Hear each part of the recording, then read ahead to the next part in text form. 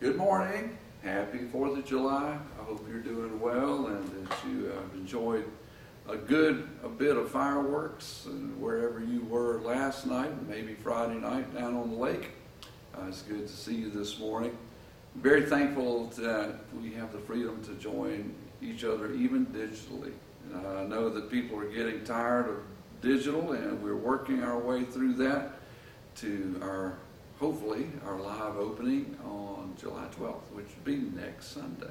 So stay tuned and make sure that you uh, are aware that we're making those phone calls on Fridays and making sure that the phone tree is going and your email, if you have that, so that we can stay in touch with you. We're very pleased the way that communication pattern is going and very appreciative of all the volunteers that are helping us to do that. Uh, someone mentioned to me this week that, uh, hey, we're one of the last to return to live worship. And I said, I wasn't aware it was a race. We're just happy that we're taking care of our folks in the way that God is showing us uh, to take care of. So each person who is part of this congregation is important and sacred, and we want to make sure we ensure the safety of our people uh, as well as the spiritual nourishment of our people. So just thank you for that. This morning, uh, I'm going to go to the Gospel of John to the 13th chapter, and I want you, as I read this story, you're going, wait a minute, we're expecting fireworks and, and talks about Montezuma and not his revenge, but anyway, Montezuma and all these kind of things about the 4th of July and independence. And, and we are, and we're going to, but we're going to put it into a context about the root of freedom. And of course, everybody's sitting there. I remember uh, there was a time that I was doing children's so, children's sermons all the time, and you, preachers were the worst. Were the worst at setting people up for the answers sometimes. But doing a children's sermon, and I was describing, "Hey kids, do you know? Can you tell me what has a bushy tail and loves to climb trees and likes to eat nuts with his hands and can jump from limb to limb?" And the little fellow sitting there said, you know, I know the answer is Jesus, but that sure does sound like a squirrel to me. Well, yes, the answer is Jesus to our longing and our question, and the root of our freedom is really in Christ. One who has been set free in Jesus, whom the Son has set free, is free indeed. But I want us to, to look this morning on this day when words of independence and words of freedom are often shouted and and uh, from everything from wearing masks to using hand sanitizer to where people meet, the word freedom is being thrown around in ways that is confusing at, at the very least. What do people mean by that? Is it license to do what I want? Is it something that says I have no restrictions, that me as an independent thinking, rational human being has the ability, if I have the ability, to move and have the power to do what I want to do according to my own agenda. So there's a lot of news and there's a lot of discussion about how freedom is defined, how it is um, codified when we live in society with each other, in community.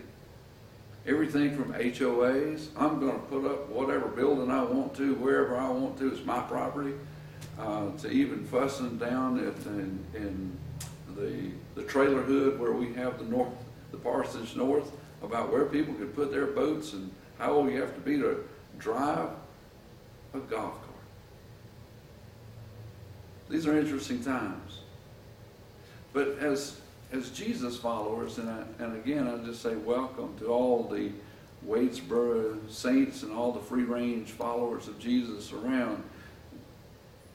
When we adopt and, and, and are adopted by God and we submit ourselves to Jesus, there's this notion that we don't belong to ourselves anymore. So I want us to enter this text by one, recognizing that Jesus redefines use of power because certainly if anyone had the freedom to do what he wanted to do, it was Jesus who deemed, as we talked a couple of weeks ago, equality with God not something to be grasped, but emptied himself.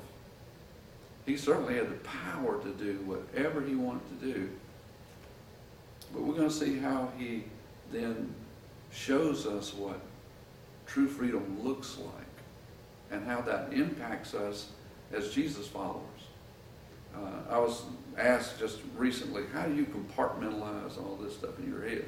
Well, I, I want to, to say first and foremost that as I enter into the text that, that we read together and study together, that I want to, to lay aside Harry's agenda.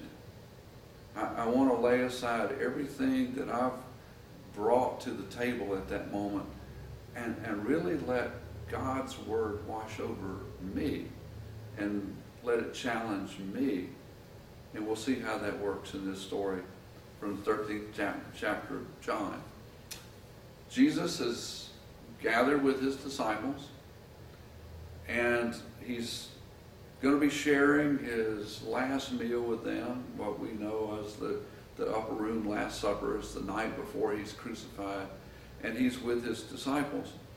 And it picks up with this um, very, very interesting summation. It was just before the Passover feast. Jesus knew that the time had come for him to leave this world and go to the Father, which I think is so such a beautiful thing to know how to, to live this life with an end in mind. That that goal, that, that, that end that Jesus knew was going to be coming, he, he didn't like the path he was going to have to go through. In fact, we would see him pray in the Garden of Gethsemane just a few hours later. Father, if it's, if, if it's possible, let this cup pass from me. Meaning, I, I really don't want to embrace the nails and the suffering.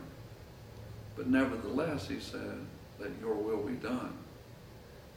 And it was knowing where the end was that allowed him the strength to get to that end. And I, I hope that you and I can begin to take on that eternal sense of mindset that whatever we're going through right now, with all the political morass and all the confusion in our society and all the the debating one way or the other, that if you're a Jesus follower, we can go through this because we know that we're going to return to the Father, even as Jesus did, and that was a promise to him and it's a promise to us. But let's keep going.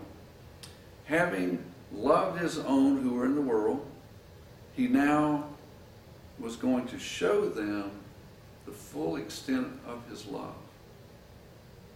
And we're going to see this meted out not only at the cross, but even, even in his next, very next action.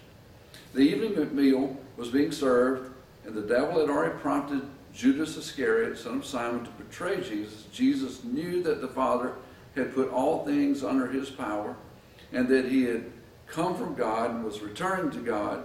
So there was a security in this moment. He gets up from the table. He knows that all authority, all power that's what a lot of people assume freedom really is. Hey, I've got all authority, I've got all power to do what I want to do. To listen, let's, let's look at this. So he got up from the meal, took off his outer clothing, wrapped a towel around his waist, and after that he poured water into a basin and began to wash the disciples' feet, drying them with the towel that was wrapped around him he came to Simon Peter, who said to him, Lord, are you going to are you going to wash my feet? And Jesus replied, You don't realize it now what I'm doing, but later you'll understand. No, said Peter, you, you will never wash my feet. And Jesus answered, Unless I wash you, you have no part with me. And Lord, then Lord, Simon Peter replied, Not just my feet, but my hands and my, my head as well. And I can I can't help but see Jesus smiling, going, a person who has had a bath needs only to wash his feet. His whole body's clean. You're clean. You're clean. Though not every one of them. For he knew he was who was going to betray him. And that is why he said not every one was clean. And when he had finished washing his feet, he put on his clothes, returned to his place, and he asked him a question. Again, I, I return to this theme, this theme oftentimes in, in preaching and teaching, and that's God asking us questions. Do you understand what I've done for you? Jesus asked. You call me teacher and Lord, and rightly so. For that's what I am. Now that I, your Lord and teacher, have washed your feet, you also should wash one another's feet. I have set you an example that you should do as I have done for you. I tell you the truth, no servant is greater than his master, nor a messenger greater than the one who sent him. Now that you know these things, you will be blessed if you do them. Friends, this is, this is a word for our times. When people are trying to recreate Jesus in the, the image of a political king and force him to take his kingdom, even as Judas, it is theorized, was trying to do to force his hand to be the king of Israel, we likewise have tried often to, to make Jesus be a power authority. Even when we try to talk about his sovereignty, we put it in political terms. And Jesus is going to say, Let me show you the full extent of my love for you. Let me show you the full extent. And you and I, and I'll just speak for me, are so often like Peter. No, you're not going to wash my feet, Jesus. You see, for most of us, we are so trained and so enculturated to be independent and so um, taught that we should pull our own ourselves up our own bootstraps and that we should rely on no one that, and I'm just going to speak a little bit. I can't speak for the women. I can speak for a lot of the men that, that I come into contact with have a problem with giving their lives to Christ because this whole thing of putting myself under authority of someone else rubs against that notion of freedom that we have grown to, to not question. That freedom is simply my ability, my authority, my power to do what I want to do. And to give that over to someone else is a threat. And I think at the heart of some of that with Peter is that the heart of the same thing that's the heart of us. And that is, it's not easy to look into our lives and ask the question, is there something I need to die to in my own life that is an obstacle keeping me from the very best and from the relationship that Jesus would desire for me? You see, Jesus had already told Peter, I'm going to build my church on you, brother. You're the rock.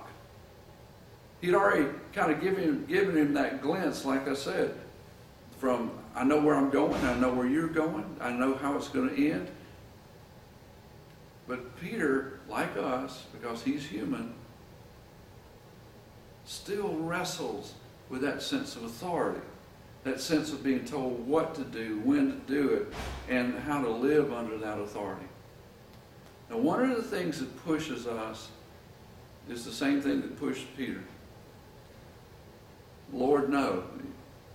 Remember a couple of weeks ago when we were in Caesarea Philippi and he was camping with the boys and, and Jesus said, you know, I am the Messiah, you're right. Peter had blurted out, you're the Christ, the God, the Messiah. And then Jesus went on to tell him that the Messiah was going to have to go to Jerusalem and suffer and die. And Peter had the chutzpah to stand up and say, God forbid, no, that can't happen to you. He had his own agenda. Here, no, you're not going to baptize me. But Peter hears the words of Jesus. Unless I do this, Peter, unless I do this, you have no part with me. You see that that was Jesus saying, Peter, unless you submit, unless you give your career goals, unless you put your political agenda under my authority, if you put, unless you put your family under my authority, unless you put your job under my authority, you put your finances under my authority, unless you put your whole being under my authority, unless you let me wash you, you have no part in it. I think it's funny, and the reason I say I, I can see Jesus smiling is because then Peter goes, "Oh, okay, well, uh, then just like wash all of me, just bathe me off, everything, hands, everything." Wouldn't it be great? Wouldn't it be great if we could wake up each morning, or before we put our head on the bed at night? Wouldn't it be just wonderful if we could te- we could just take a shower, get in the bathtub, and have our guilt, our remorse, just washed away. I'm just going to turn on extra hot. I'm going to have the shower rain head. I'm going to get in there, and I, you know, I've got bad thoughts or I've hurt a friend. I'm just going to, I'm just going to let this happen, and sure enough, take a bath, and your guilt goes away. See, Peter was missing the point again. Jesus was redefining power. Remember that, that verse that says that Jesus came not to be served, but to serve? This is, this is the challenge for us in the, in the 21st century church. That I've been part of churches, I've been part of congregations that, that, that were more like a cafeteria. How can this how can this thing serve me rather than, God, what are you calling me to do in the midst of this congregation, this community? And it begins with also not just what is God, what, what is it God needs to reveal to me that I need to die to, but also part of that is letting God be God. Jesus said, You've called me teacher, rabbi, rabboni, and they've learned the the, the message of God, they've learned the teachings of God, but they've also learned something about his divinity, his, uh, Jesus' own divinity, because Jesus said, and you call me Lord. And that's a wonderful Greek word, kurios, that he uses. And it's one that was used in the Old Testament, and the Greek was, um, when the Hebrew was translated into Greek, it was called the Septuagint the word Lord was translated from the Hebrew to the Greek, and it was kurios. And so when Jesus says, you, you're, you're recognizing me, you're calling me Lord, in other words, you get it, you have right doctrine, you understand theologically, you understand spiritually who I am. But now, you have to understand what that Lord is about. It, it, it's just not power and authority to do what I want. Jesus said, I, I, am showing you now how to define lordship and servanthood in the light of following the Father. I don't know if you've ever been part of a foot washing service. I have, and I've conducted them on mission trips out of the country, mission trips that I've, I've helped direct through a ministry called Salkehatchie Summer Service in South Carolina. Did that for over 20 years, and every every every Friday night we would hold a, a communion service, and all the young people would share, and we would have uh, 100 or more young people and adults after they'd worked all week in these hot, sweaty conditions, and and I would tell them all to take off their shoes before the, the communion service. And I remember the first couple of years that I did this, the overwhelming response.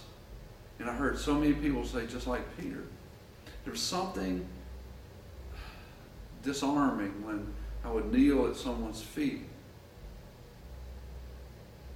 And I would bathe their feet with cool water, and, and I would see tears flowing. And recognition of why me, why, and this is embarrassing and this is odd. And but don't you think Jesus knew that?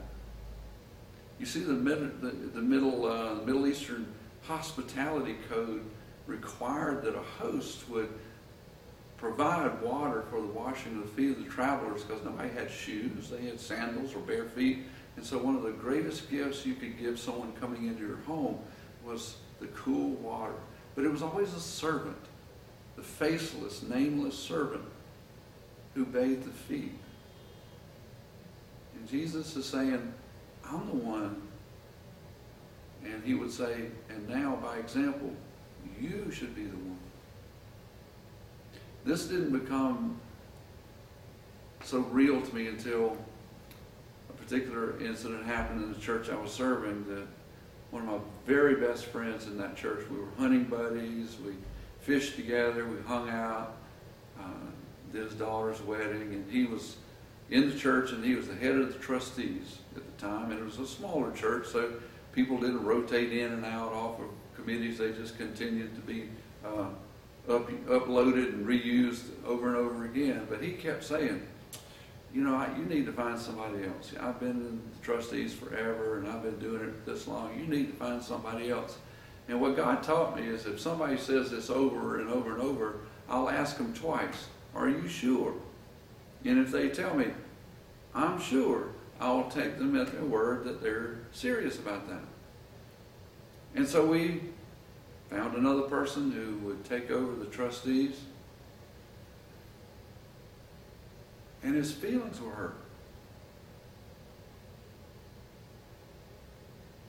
And there was a little grain of resentment dropped into the midst of our relationship. He didn't believe that I would take him serious, and I didn't believe he was getting hurt because he'd assured me, and we both kind of bowed up about that. Like, well, I'm not going to give in to that. You were wrong. I was wrong. You're wrong. No. And we would go to men's breakfast and we would get bacon out of the same pan, but we wouldn't talk to each other. I was just as guilty. And I was feeling prideful, like I'm in the right. You told me, we did it, and you and he was hurt. And one night, while teaching this passage during Lent, the time of the season before Easter, his wife played piano and she just grieved that our friendship was bent. It wasn't broken, but it was bent and it was frayed. And you could feel it in the church. And one night when reading this and teaching on this, and his wife had played the piano that night, God just convicted me that I needed to go and leave the book and leave the congregation that night and go see my friend Roy. And I rode down the road. He only lived a mile and a half from me. And I rode down the road and I came up to his door and I knocked and he said, Come on in. He didn't know it was me. And when I did, you could see the stern look and surprise on his face. And, and I just said, Roy,